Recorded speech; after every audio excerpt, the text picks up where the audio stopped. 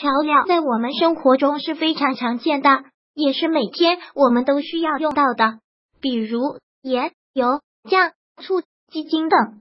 我们都知道，少吃调料对我们的身体好，吃多调料了容易对我们的肝肾及心血管造成很大的影响。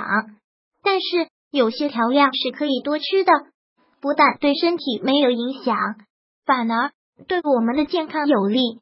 吃多调料不健康。这七种调料常吃，杀菌消炎，促进消化。尤其第五种，一食醋，在很多场所都会用到醋来见效消毒处理。由于食醋中含有大量的醋酸成分，而这种成分具有杀菌且抑制细菌的生长，并且我们经常食用食醋，可以促进肠胃消化，缓解便秘等，所以平常多食用食醋，有利于身体健康。减缓衰老。二胡椒，胡椒是最常见的调味品。胡椒有黑白之分，白胡椒特别适于肥胖的人食用，由于它具有促进新陈代谢的作用，并且还能顺气。胡椒具有很好的口感，而刺激唾液、胃液和胰液的分泌，从而促进食物消化。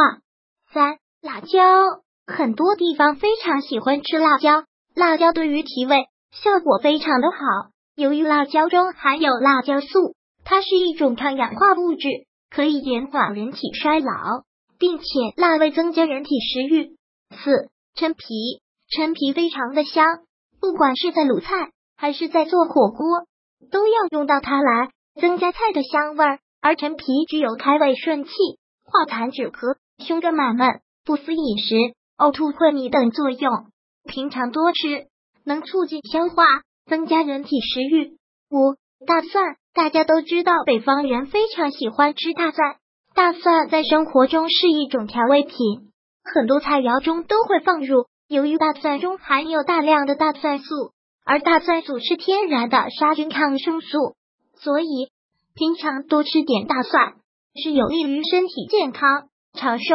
六花椒，很多人也不喜欢那种麻麻的感觉。其实花椒也是一种中药，其功能具有归脾、肾经、胃，并且具有芳香健脾、温中散寒、除湿治通、杀虫解毒、止痒等功效。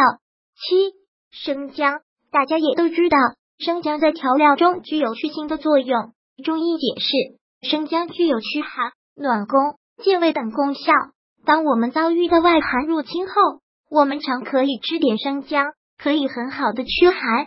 以上七种调料，我们平常也常吃，但是它们不同于其他的调味品，是被加工出来的。这些全是纯天然的调料，所以平常可以多吃，有助于身体健康，从而延长寿命。如果喜欢本视频，请分享并订阅本频道，访问 T T News 点 X Y Z 获取更多相关资讯。